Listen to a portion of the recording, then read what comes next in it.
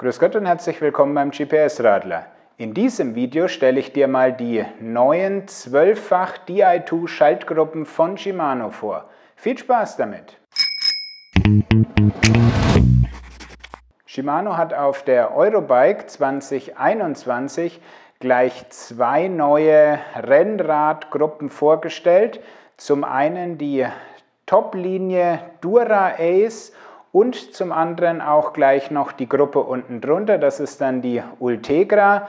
Für die meisten Rennradfahrer am spannendsten ist, dass es jetzt eine Zwölffachschaltung ist.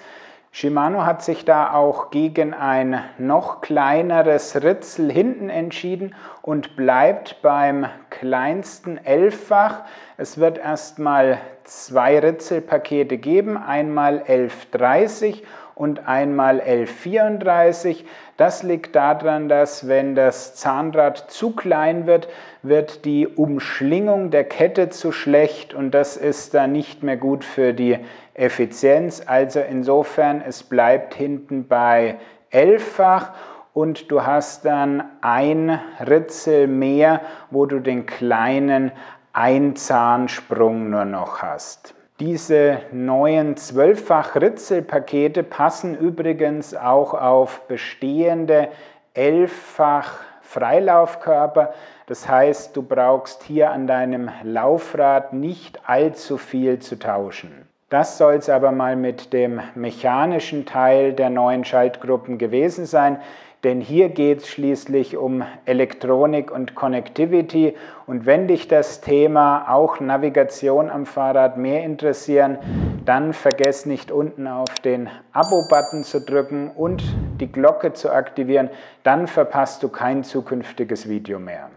Bei einem Blick aufs Gesamtsystem fällt auf, dass im hinteren Bereich des Fahrrades weiterhin ein kabelgebundenes System zum Einsatz kommt. Die Stromversorgung übernimmt der im Sattelrohr eingebaute Akku. Von dort aus geht es mit zwei Kabeln weiter. Zum einen zum Umwerfer und zum anderen zum Schaltwerk. Am Lenker kommt dann der cleane, drahtlose Teil des Systems zum Einsatz. Das heißt, die beiden SDI-Hebel sind über ein schnelles, verschlüsseltes Funkprotokoll ans Gesamtsystem angebunden. Damit komme ich zur Detailbetrachtung der einzelnen Komponenten. Los geht's mit dem Umwerfer. Da gibt es am wenigsten zu sagen. Durch den schnelleren und kräftigeren Motor konnten die Schaltzeiten am Umwerfer um 45 Prozent reduziert werden. Nächste Komponente im drahtgebundenen Teil der Schaltung ist das Schaltwerk. Das ist künftig auch die Zentrale und das Herzstück der Di2-Schaltung. Das heißt, von hier aus werden alle anderen Komponenten angesprochen, also per Kabel der Umwerfer und über das Funkprotokoll die SDI-Hebel. Die Stromversorgung des gesamten Systems erfolgt auch über das Schaltwerk. Dort gibt es dann eine neue Ladebuchse. Da kannst du den Akku im Sitzrohr über ein spezielles USB-Kabel aufladen und laut Shimano hält eine Akkuladung für etwa 1000 Kilometer Fahrstrecke. Ebenfalls im Schaltwerk eingebaut ist die Bluetooth- und ANT-Funkeinheit. Bluetooth brauchst du, um mit dem Smartphone und der eTube-App deine Schaltung individuell zu konfigurieren und der ANT-Teil, der stellt die Verbindung zu den GPS-Radcomputern her. Also du kannst weiterhin über die Zusatztasten an den SDI-Hebeln deinen Garmin, Wahoo und Co. bedienen.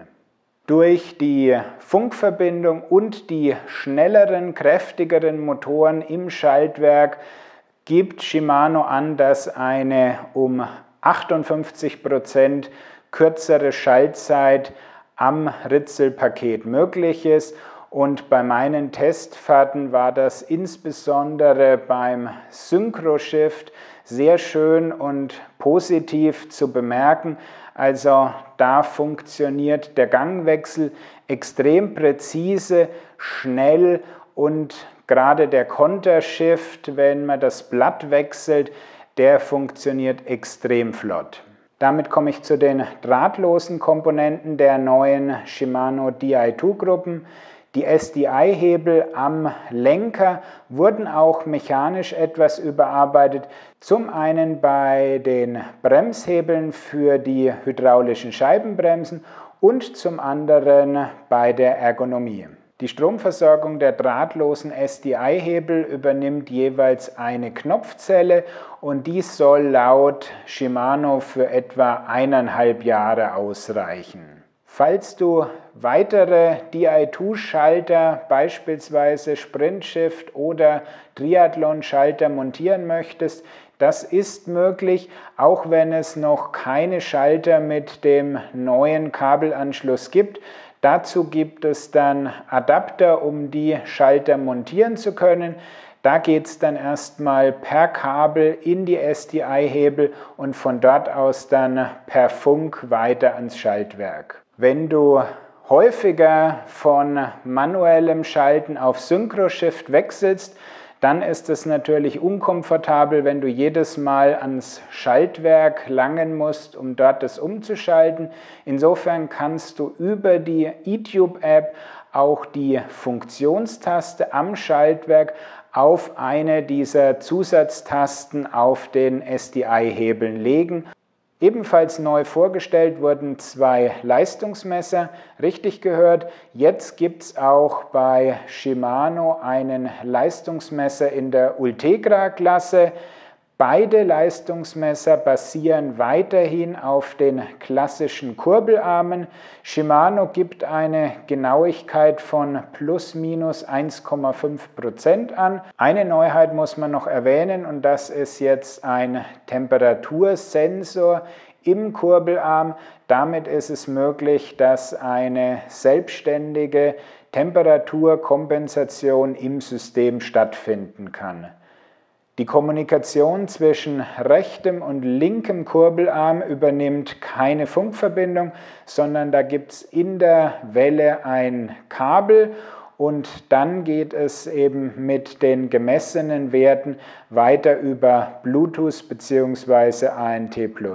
Die Stromversorgung übernimmt ein fest eingebauter Akku, der wird über ein Spezialkabel geladen und soll für etwa 300 Stunden Betriebsdauer reichen. Soweit mal mein erster Überblick über die neuen drahtlosen zwölffach Shimano-Gruppen fürs Rennrad.